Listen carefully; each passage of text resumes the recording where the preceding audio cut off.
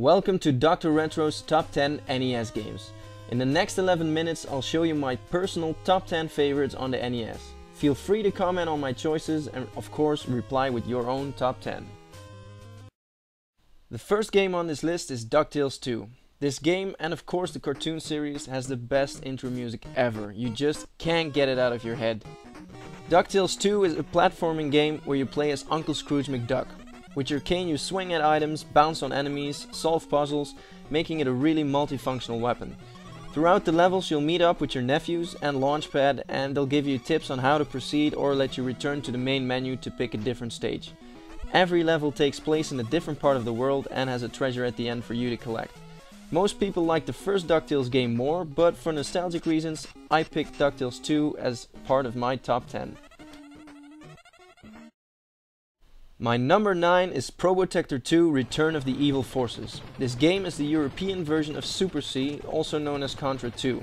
The soldiers were replaced by robots in this game due to violence legislation in some of the European countries. With an arsenal of weapons such as machine guns, flame guns and of course the famous spread gun, you'll blast your way through hordes of enemies. This game is hard as hell and unforgiving in every possible way. You'll get swarmed by enemies from every angle and it only takes one hit to get killed. With only 3 lives at the start, it's near impossible to beat this game without the infamous Konami code. The Contra series were groundbreaking action games on the NES and definitely deserve a spot in my top 10.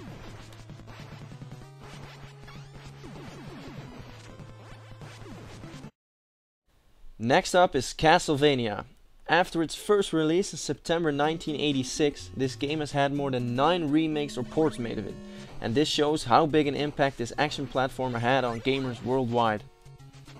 You play as Simon Belmont, the heir to a famous family of vampire hunters, and your mission is to kill the ultimate evil, Dracula. With your iconic whip, you fight yourself through 6 levels of monsters to face the old bat himself. The game has a solid difficulty curve with the horrible Medusa heads as your worst enemies. Along your way through the castle and its grounds, you'll find different upgrades for your whip and throwing items like holy water and axes to help you beat the game. With its amazing atmosphere and combination of platforming and action, Castlevania was a genre-defining title on the NES and deserves its spot high up the top 10. On number 7 we find Shadow Warriors Ninja Gaiden. You play as Ryo Hayabusa, a ninja warrior whose father recently went missing along with two ancient artifacts. Your mission is to hunt down and kill the evil cult leader Jaquio to save your dad and prevent the artifact from being used. Ninja Gaiden, which is known as Shadow Warriors in Europe, is an action platformer with great music, fast-paced action and even an interesting story that is told in cutscenes, which was quite ahead of its time. Where a previous entry Castlevania had enemies that annoy the crap out of you, this game has enemies that turn you downright homicidal. Whenever you get hit by an enemy, you bounce back in pain. This is not an uncommon mechanic in old games. But in Ninja Gaiden, you have birds flying into the screen at jumping spots, and they respawn whenever you take a step back, so continuous bird onslaught is what will drive you mad. Except for those damn birds, this is an awesome game that has cost me a lot of hours throughout the years. The iconic early NES title Mike Tyson's Punch-Out is my number 6. The starting message that Mike Tyson is waiting for you is a prelude on how much this game will beat you up. As Little Mac, you fight your way through different tournaments, facing stereotype characters as Glass Joe and King Hippo and Piston Honda. In the end, you'll face Iron Mike himself or Mr. Dream in the later re-released Punch-Out without Mike Tyson in it. The boxing is a combination of timing and pattern recognition, and every enemy has a number of movement patterns. The weaknesses in those patterns are what you need to use to knock them out. Knocking down an enemy 3 times in a single round will give you a technical knockout, and having him stay down the full 10 seconds will give you a full knockout. With its addictive, progressively challenging gameplay, Punch-Out is one of the biggest time sinks on the NES and fought its way up to number 6.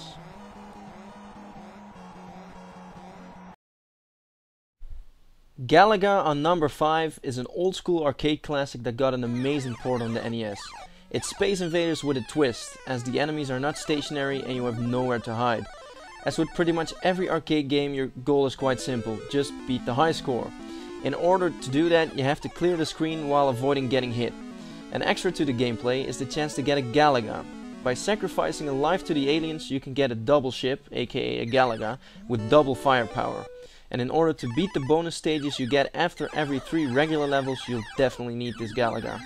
The gameplay isn't very deep and the graphics aren't cutting edge, but the game is addictive and definitely one of my favorite games on the NES.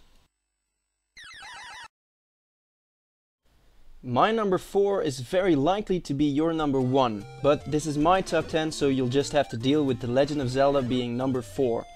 The reason that this masterpiece by Miyamoto is not higher up is because I never had it as a kid. I only got it later on when I started collecting and therefore it had a smaller impact on me as a gamer.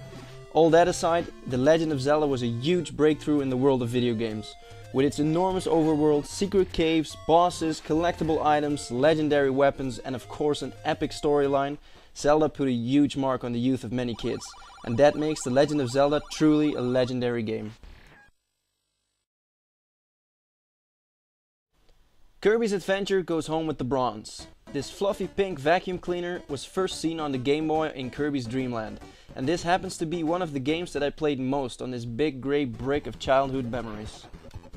On the NES, Kirby had a new feature that made the game even more awesome. In Dreamland, Kirby was a cute protagonist with a fun platforming game, but in Kirby's Adventure he became a shape-shifting cannibal. Every enemy in the game that has a special ability can be sucked in and digested, making Kirby take his powers. This adds endless variance on how to clear the levels. You can do it as a fireball, as a wheel, as a swordsman or as a spark of lightning, whatever you choose. Every level in a zone has its own mini-boss, and they give Kirby his most powerful abilities. At the end of a zone you'll find a big end boss and your final goal is to beat the evil King Dedede. Another great feature of this game are the mini games you can play in between levels. These little games, which are mostly about timing, give you the chance to boost up your lives or take on special abilities. These mini games also give a nice change of pace and make the game an even more complete package. In conclusion, I think Kirby's Adventure is a beautiful game with great music and as a platformer it's quite unique.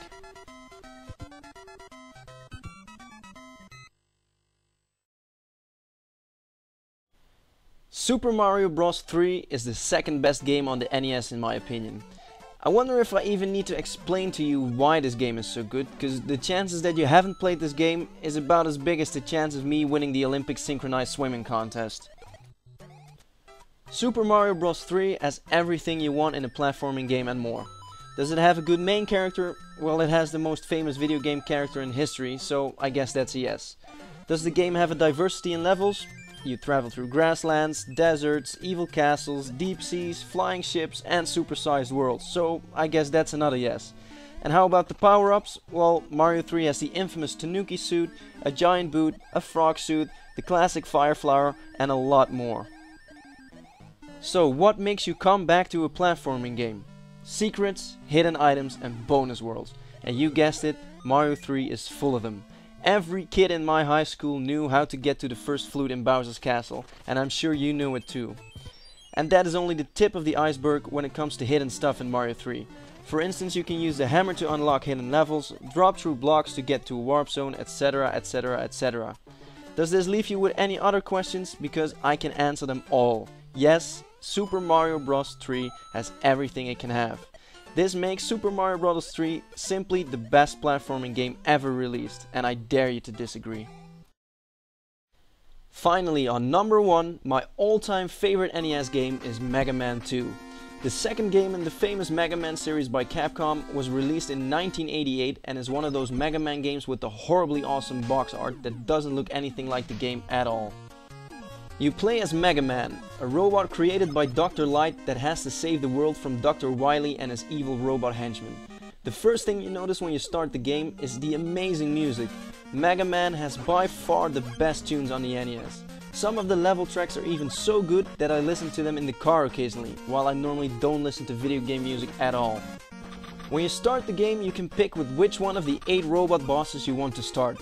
There is a preferred order in how to complete these levels, but if you're a skilled enough gamer, it is possible to do it in a different order. Every gamer that has played Mega Man 2 in the pre-internet days will have found out his personal version of how to do the bosses. But I believe 99% of the people started with Metal Man, just like I always do. Each level has its own distinct setting with its specific enemies and difficulties. At the end of a level you'll find Dr. Wily's henchman and in order to defeat him you'll need to use the correct weapon. In order to obtain this correct weapon, you'll have to have killed a certain boss before playing this level. Because when Mega Man beats a boss, he takes over the boss's personal weapon and you'll be able to use it whenever you like. After beating the 8 robo bad guys, you're off to Dr. Wily's castle. Here you'll face his final few guardians and finally see the Mad Doctor himself. Mega Man 2 is the best Mega Man game in my opinion. It has a perfect balance in difficulty, it has amazing music, great animations and an original set of bosses. With Mega Man 2 we've come to the end of this list of 8-bit gems. Feel free to reply to this video with your personal top 10 and don't hesitate to show why you've picked those games. Thanks for watching and be sure to check out my other videos. To stay up to date on all new Dr. Retro videos, like me on Facebook by going to facebook.com slash drretromd, so Dr. Retro MD.